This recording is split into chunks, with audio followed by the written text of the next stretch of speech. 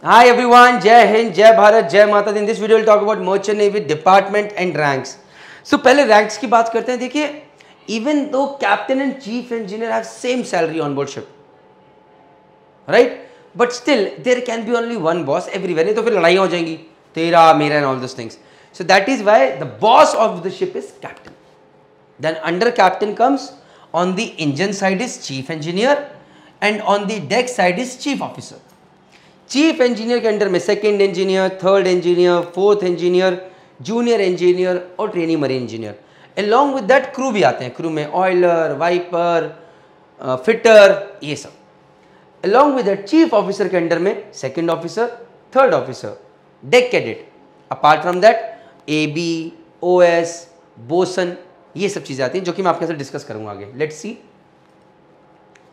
सो जब हम डिपार्टमेंट्स की बात करते हैं there are three departments deck department deck department का role is navigation so taking ship from one place to another ship is the department of deck side apart from that cargo load करना है unload करना है. Oil has to be loaded on ship और discharge from ship is the is that responsibility of deck department. Then there is engineering department that is working down below in the engine room. ये engineering department engineering department engineering chief engineer right हमारा काम यह that all the machineries on board ship should be working in fine condition भाई, आपको ship को you have to take from over here to there right so there is one person who is acting as a driver who is looking okay now take ship like this then like this fine ऐसे ऐसे लेके जाना है. But there is one person working down below is making sure that the engine is working in fine condition generator से electricity पूरी आ रही है.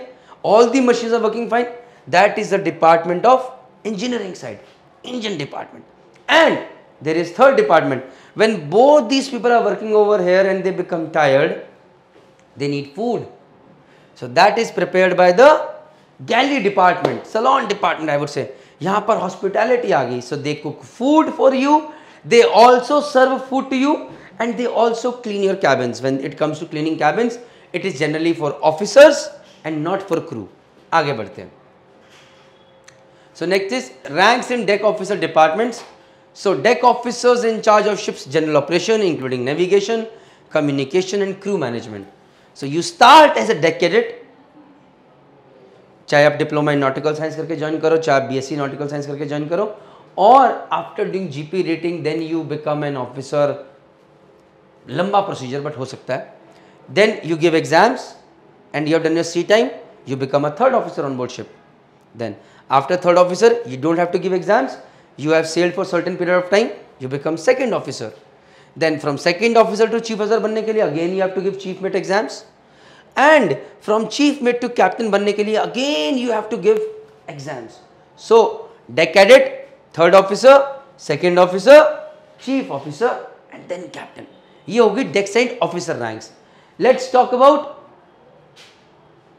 the ranks in the crew department on the deck side so यहाँ पर कौन कौन है? सबसे पहले you start as a training OS so जब आप जीपी रेटिंग करके आप शिप पे जाते हो you go as a training OS OS is ordinary seaman then you become ordinary seaman then you become able bodied seaman यहाँ पर आप काम डेक पे कर रहे हो चिपिंग पेंटिंग क्लीनिंग ये सब चीज़ों में लगे होते हैं.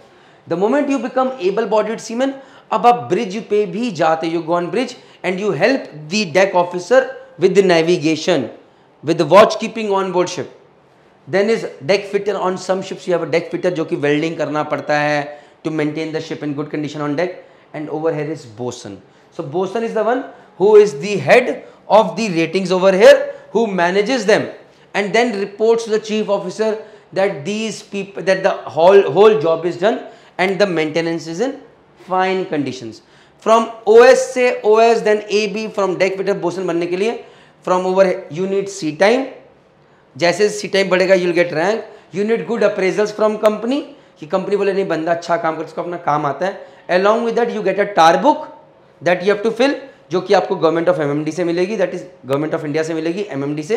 वो आपको टार बुक्स भरनी है.